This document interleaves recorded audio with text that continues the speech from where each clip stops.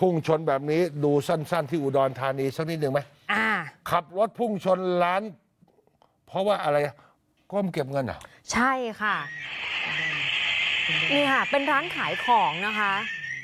แล้วตัวคุณสุภวรรณกับคนในบ้านกำลังนั่งอยู่หน้าร้านทีแรกอะคิดว่ารถคันนี้ค่อยๆชะลอเข้ามาเป็นลูกค้ามาซื้อของปรากฏ พอใกล้ๆจะถึงร้านเหมือนพุ่งเข้าใส่เลยนี่ค่ะทะลุกระ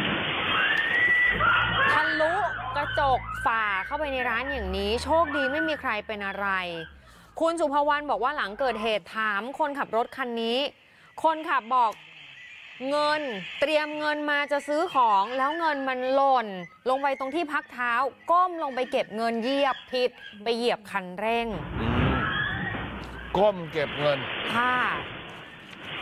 อะไรมันหล่นลงไปก็ต้องหล่นนะถ้าเราขับรถเนี่ยอย่าไปเก็บ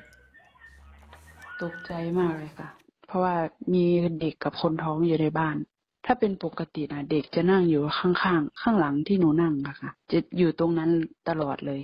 แต่พอดีว่าเหมือนวันที่เกิดเหตุแม่เด็กแล้วก็เด็กพากันมาเล่นอยู่ข้างในเฉยๆค่ะ เขาบอกว่าเขากำลังจะจับเอาเงินนะคะ ก้มเก็บเอาเงิน เขาเองเขายืนยันว่าเขาไม่ได้เมาค่ะ แต่ทุกคนที่เห็นสภาพเขาก็คือบอกว่าเมาหมดเลย ก็ไม่เป็นไรแล้วค่ะ ถ้าเขาชดใช้อะไรค่าเสียหายก็ไม่เป็นไรแล้วค่ะไกลเกลี่ยได้ก็เลยไม่ไม่ได้เอาเรื่องอะไรค่ะคือคุณสุภวรรณเธอบอกว่าตอนนั้นเธอมองด้วยตาเปล่าทุกคนที่อยู่ตรงนั้นมองว่าเมา แต่เขาบอกว่าเขาไม่ได้เมาเขาก้มเก็บเงิน